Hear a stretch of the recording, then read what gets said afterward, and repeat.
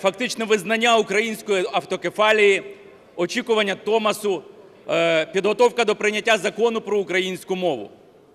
Це вкрай відповідальні і важливі питання. І особливо важливо підкреслити, що в цей час, коли ми працюємо для того, щоб втілити віковічні мрії українців, дуже багато людей намагається зірвати цю роботу, вчинити якісь провокації, не допустити того, щоб ми реалізували свій шанс.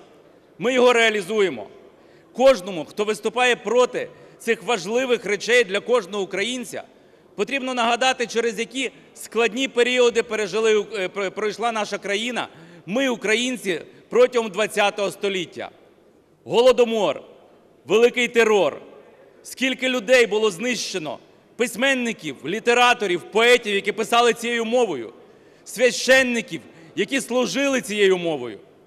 Тому сьогодні, говорячи про необхідність спокійного відновлення української автокефалії, а ми вже фактично її відновили, тепер очікуємо Томасу, говорячи про необхідність остаточного прийняття Закону про українську мову, ми маємо одночасно сказати всім провокаторам, всім негідникам, що ми не дамо вам шансу цього зірвати. Я не випадково зараз про це говорю.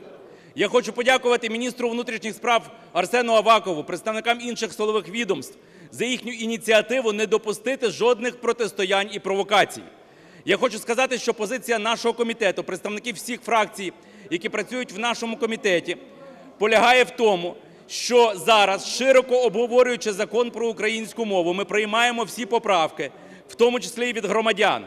Ми захистимо українську мову, зробимо її державною, але жодним чином ми не намагаємося принизити чи заборонити говорити в побуті представникам інших національних меншин, обмежити їхні права. Ми захищаємо свої, свої права. Воюючи за українську церкву, ми жодним чином не хочемо принизити інші українські церкви.